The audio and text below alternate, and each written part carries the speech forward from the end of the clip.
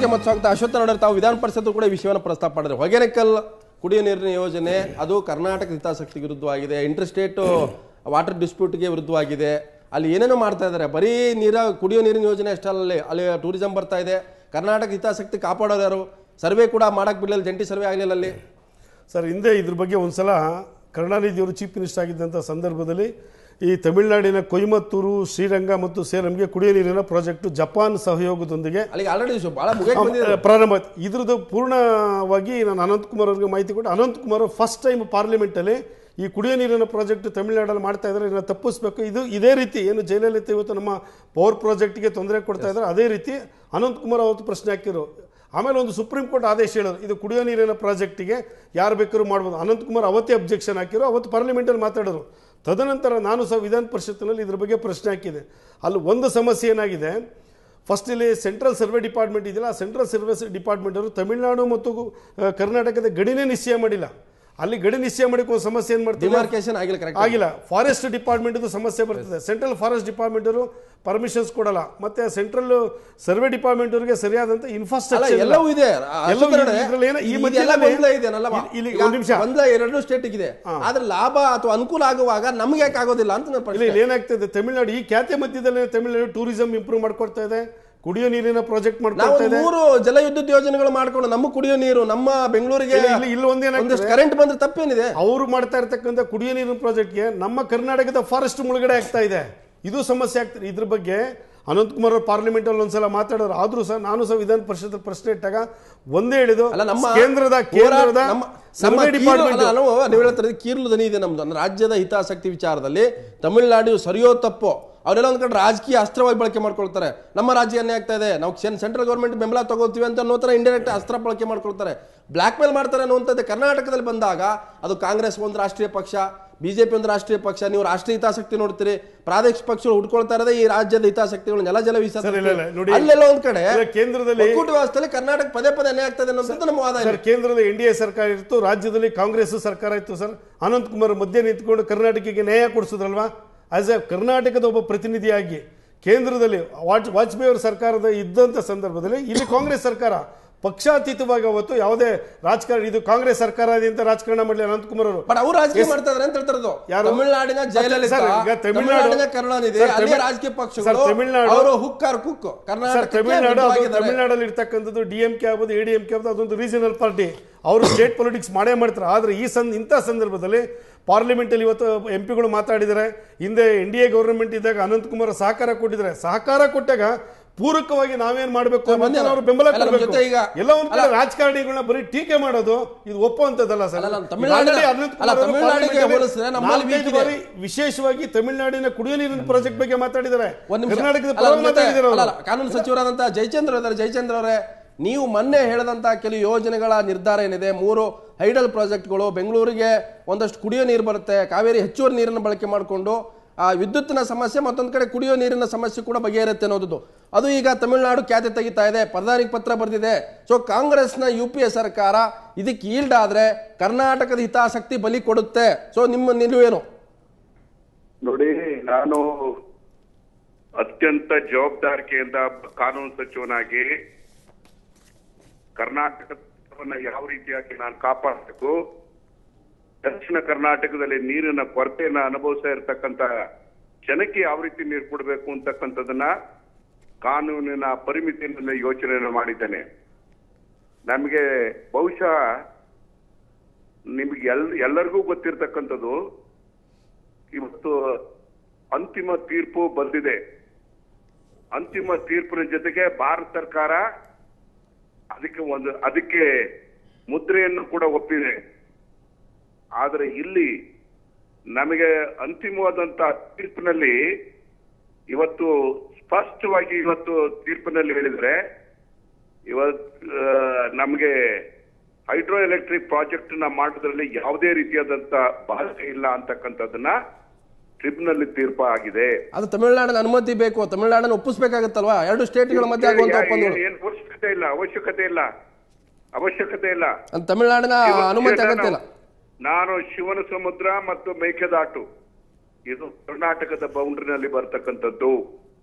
ಅದರ ಜೊತೆಗೆ ನಮಗೆ ನಮ್ಮ ಬಾರ್ಡರ್ ಕಾಮನ್ ಬಾರ್ಡರ್ ಬರ್ತಕ್ಕಂತ ಪ್ರಾಜೆಕ್ಟ್ ಅಂತ ಹೇಳಿದ್ರೆ ರಾಸಿಮಲ್ ಮತ್ತು ಒಗೇಲ್ಕಲ್ ಈ ಎರಡು ಪ್ರಾಜೆಕ್ಟ್ ಮಾಡಬೇಕು. ಮಾತ್ರ ಅವ್ರ ಕನ್ಸಲ್ಟೇಷನ್ ಬೇಕಾಗ್ತದೆ. ನಾವು ಈ ಎರಡು ಪ್ರಾಜೆಕ್ಟ್ ಮಾಡಕ್ಕೆ ಅವ್ರದ್ದೇನು ಬೇಕಾಗಿಲ್ಲ. ಈಗಾಗಲೇ ತಮಿಳುನಾಡಿನ ಮುಖ್ಯಮಂತ್ರಿಗಳು ಪ್ರಧಾನ ಮಂತ್ರಿ ಬರೆಯೋದಿರ್ಲಿ ಅವರ ತಕರಾರನ್ನ ಇವತ್ತು ಸುಪ್ರೀಂ ಕೋರ್ಟ್ ಮುಂದೆಲ್ಲೂ ಕೂಡ ಅರ್ಜಿ ಹಾಕಿದ್ದಾರೆ. ಆ ಹಿನ್ನೆಲೆಯಲ್ಲಿ ಇವತ್ತು ಟ್ರಿಬ್ಯುನಲ್ ತೀರ್ಮಾನ ಆಗಿರ್ತಕ್ಕಂಥದ್ದು ಅದಕ್ಕೆ ಅಂತಿಮವಾಗಿ ಭಾರತ ಸರ್ಕಾರ ಒಪ್ಪಿಗೆಯನ್ನ ಕೊಟ್ಟಿರ್ತಕ್ಕಂಥ ಹಿನ್ನೆಲೆಯಲ್ಲಿ ಆ ಯೋಜನೆಗಳನ್ನ ಯಾವುದೇ ಕಾರಣ ಕೈ ಬಿಡೋದಿಲ್ಲ. ಯಾವುದೇ ಯೋಜ ಯಾವ ಯೋಜನೆಗಳನ್ನು ನಾವು ಇವತ್ತು ಕೋಲಾರದಲ್ಲಿ ನೀರಿಲ್ಲ ಬೆಂಗಳೂರಿನಲ್ಲಿ ಕುಡಿಯಕ್ಕೆ ನೀರಿಲ್ಲ. ಅಂದಾಗ ಒಂದು ರಾಜ್ಯ ಸರ್ಕಾರ ಆಗಿ ನಾವು ಯಾವ ರೀತಿಯಾಗಿ ನೀರು ಬಳಕೆ ಮಾಡಬೇಕು ಅಂತಕ್ಕಂಥದ್ದನ್ನ ಚಿಂತನೆ ಮಾಡತಕ್ಕಂಥದ್ದು ನಮ್ಮ ನಮ್ಮ ಜವಾಬ್ದಾರಿಕೆ ಇದೆ. ಹಾಗಾಗಿ ನಾನು ಯೋಚನೆಯನ್ನ ಮಾಡ್ತಾ ಇದ್ದೇನೆ. ಅಲ್ಲ ಸಚಿವರೇ ಈಗ ಸಚಿವರು ಒಂದು ಪ್ರಶ್ನೆ ಈಗ. ಈಗ. ತಮಿಳುನಾಡು ನಿಮ್ಮ ಸರ್ಕಾರವನ್ನ ಕೇಂದ್ರದ ಸರ್ಕಾರವನ್ನ ಜಲಸಂಪನ್ಮೂಲ ಸಚಿವರನ್ನ ಸುಪ್ರೀಂ ಕೋರ್ಟ್ ಅನ್ನ ಮತ್ತು ವಿಶೇಷವಾಗಿ ಪ್ರಧಾನಮಂತ್ರಿಗಳನ್ನ ಕನ್ವಿನ್ಸ್ ಮಾಡುತ್ತೆ ಒತ್ತಡ ಇರುತ್ತೆ ಸೊ ನೀವು ರಾಜ್ಯ ಸರ್ಕಾರ ಅಥವಾ ರಾಜ್ಯದ ಪ್ರತಿನಿಧಿಗಳು ನಿಮ್ಮ ಸರ್ಕಾರವನ್ನ ನೀವು ಪ್ರಧಾನಿಗಳನ್ನ ಕನ್ವಿನ್ಸ್ ಮಾಡ್ತೀರಾ? ನಾನು ಒಂದು ಮಾತನ್ನು ಹೇಳ್ತೀನಿ ಉಗಾರ್ ಅವರೇ. ನಮಗೆ ಜನ ಓಟ್ ಕೊಟ್ಟಿದ್ದಾರೆ, ನಮ್ಮನ್ನ ಅಧಿಕಾರಕ್ಕೆ ಗದ್ದಿಗೆಯನ್ನ ಏರಿದ್ದಾರೆ. ದಯಮಾಡಿ ಇವತ್ತು ನಾವು ತಮಿಳುನಾಡಿನವ್ರಿಗೆ ಯಾವುದೇ ರೀತಿ ಖ್ಯಾತಿಯನ್ನು ಮಾಡಿದ್ರು ಕೂಡ ಅದರಿಂದ ನಾವು ಇವತ್ತು ಗಾಬರಿ ಪಡ್ತಕ್ಕಂಥ ಅವಶ್ಯಕತೆ ಇಲ್ಲ. ನಮ್ಮ ಸರ್ವೋಚ್ಚ ನ್ಯಾಯಾಲಯದ ತೀರ್ಪೇನಿದೆ, ಆ ತೀರ್ಪಿಗೆ ಅನುಗುಣವಾಗಿ ನಾವು ಕಾರ್ಯಕ್ರಮವನ್ನ ನಾವು ರೂಪಿಸ್ಬೇಕಾಗ್ತದೆ. ಈಗ ಒಂದು ಮಾತನ್ನ ಅರ್ಥ ಮಾಡ್ಕೊಳ್ಳಿ. ಈಗ ನಮಗೆ ತಮಿಳ್ನಾಡಿಗೆ ಹೋಗ್ತಾ ಇರ್ತಕ್ಕಂಥದ್ದು ನಾಲ್ಕು ಯೋಜನೆ. Harangi, K R S, Hemavathi ಮತ್ತು ಕಬಿನಿ. ಈ ನಾಲ್ಕರಲ್ಲಿ ಮಳೆ ಯಾವ ರೀತಿಯಾಗಿ ಬರ್ತದೆ ಅಂತೇಳಿ ಯಾರು ಎಕ್ಸ್ಪೆಕ್ಟ್ ಮಾಡಕ್ಕಾಗಲ್ಲ ವ- ಇದು south west and north west monsoon ಮೇಲೆ ಡಿಪೆಂಡ್ ಆಗಿರ್ತಕ್ಕಂಥ ನೀರು.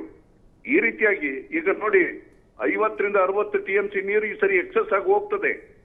ಅದನ್ನು ಯಾವ ರೀತಿಯಾಗಿ ಅದನ್ನು ತಡೆಗಟ್ಟಬೇಕಾಗ್ತದೆ? ನಮಗೆ ಅಂತಿಮವಾದಂತ ತೀರ್ಪನ್ನ ತೀರ್ಪಿನ ಅನ್ವಯನೇನೆ ನಾವು ಕಾರ್ಯಕ್ರಮವನ್ನು ರೂಪಿಸಬೇಕು ಅಂತ ಹೇಳಿ ನಾನು ಈಗ ನಾನು ಎಲ್ಲಾ ರೀತಿಯಲ್ಲೂ ಕೂಡ ಸೊ ಸರ್ವೋಚ್ಚ ನ್ಯಾಯಾಲಯದ ಮುಂದೆ ನಮ್ಮ ಏನು ಕೇಸ್ ಪೆಂಡಿಂಗ್ ಇದೆ ಅದಕ್ಕೋಸ್ಕರ ನಾವು ತಾಂತ್ರಿಕವಾಗಿ ಕಾನೂನಾತ್ಮಕವಾಗಿ ಸಮರ್ಥವಾಗಿ ವಾದ ಮಾಡೋದಕ್ಕೆ ನಾವು ತಯಾರಿದ್ದೇವೆ. ಯಾವುದೇ ರೀತಿಯಲ್ಲೂ ಕೂಡ ನಮ್ಮ ನೀರನ್ನ ಬಳಕೆ ಮಾಡತಕ್ಕಂತ ವಿಚಾರದಲ್ಲಿ ನಾವು ಹಿಂದೆ ಹೋಗೋದಿಲ್ಲ. ಎಸ್ ರಾಜಕೀಯ ಒತ್ತಡ ಒತ್ತಡ ಅಲ್ಲ ಪ್ರಶ್ನೆ ಅಲ್ಲ ಇದರಲ್ಲಿ. ಇದರಲ್ಲಿ ನಮಗೆ ಕಾನೂನಿನ ಬಲ ಇದೆ. ಆ ಕಾನೂನಿನ ಬಲದ ಹಿನ್ನೆಲೆಯಲ್ಲಿ ಹೋರಾಟವನ್ನು ಮಾಡ್ತೇವೆ. ಖಂಡಿತ ಖಂಡಿತ. ಖಂಡಿತ. ಸಚಿವರೇ ನಮ್ಮ ಜೊತೆ ತಾವು ಚರ್ಚೆಯಲ್ಲಿ ಭಾಗಿಯಾಗಿ ತಮಗೆ ಧನ್ಯವಾದ. ರಾಜ್ಯದ ಹಿತಾಸಕ್ತಿಯನ್ನು ಬಲಿ ಕೊಡೋದಿಲ್ಲ ಅನ್ನುವಂತ ಹೇಳಿದ್ದಾರೆ.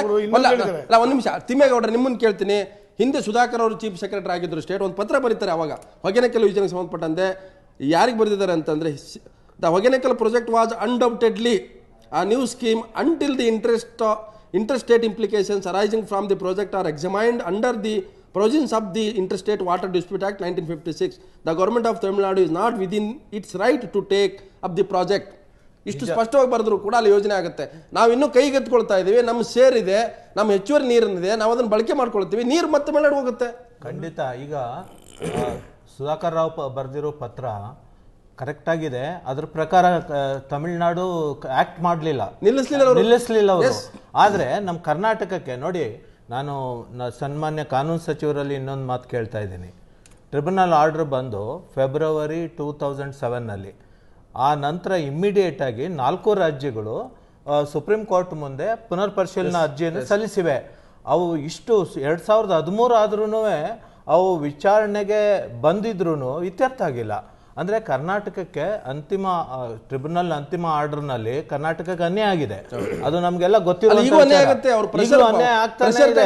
ನೋಡಿ ಇದು ಬರೀ ಶಿವನ್ ಸಮುದ್ರ ಮೇಕೆದಾಟ ಅಷ್ಟೇ ಅಲ್ಲ ಎರಡ್ ಸಾವಿರದ ಹನ್ನೆರಡರಲ್ಲಿ ತಮಿಳುನಾಡು ಮತ್ತೊಂದು ಅರ್ಜಿ ಹಾಕಿ K R S Kabini Hemavathi Harangi ಜಲಾಶಯಗಳಿಂದ ಬೇಸಿಗೆ ಬೆಳೆ ಬೆಳಿಬಾರ್ದು ಅಂತ ಅಂದ್ಬಿಟ್ಟು ಮತ್ತೊಂದು ಅರ್ಜಿ ಹಾಕಿದ್ದಾರೆ.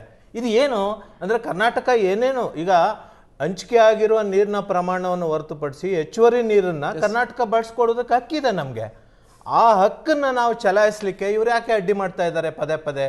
ಇವ್ರು ಯಾಕೆ ಖ್ಯಾತೆ ತೆಗಿತಾ ಇದ್ದಾರೆ? ಆಮೇಲೆ ಕುಡಿಯೋ ನೀರು ನಮಗೆ ಕುಡಿಯೋ ಈಗ ತಮಿಳ್ನಾಡಿಗೆ ಈ ಪರಿಸರ ಸಂರಕ್ಷಣೆಗೆ ಹತ್ತು ಟಿ ಎಂ ಸಿ ಮತ್ತು ವೇಸ್ಟ್ ಆಗುವಂಥದ್ದು ನಾಲ್ಕು ಟಿ ಎಂ ಸಿ ಮತ್ತು ಕೇರಳದ ಪಾಲನ್ನು ಸ್ವಲ್ಪ ಉಪಯುಕ್ತ ಆಗದೇ ಇರೋದನ್ನು ಕೊಟ್ಟಿದ್ದಾರೆ ತಮಿಳ್ನಾಡಿಗೆ. ಅಂದರೆ ತಮಿಳ್ನಾಡಿಗೆ ಹೆಚ್ಚುವರಿಯಾಗಿ ನೀರು ಕೊಡ್ತಾನೆ ಇದ್ದಾರೆ. ಆದರೆ ಕರ್ನಾಟಕ ಇವನ್ ವಿದ್ಯುತ್ ಇದರಲ್ಲಿ ನೀರವರು ಏನು ನೀರು ಉಪಯೋಗ ಆಗಲ್ಲ.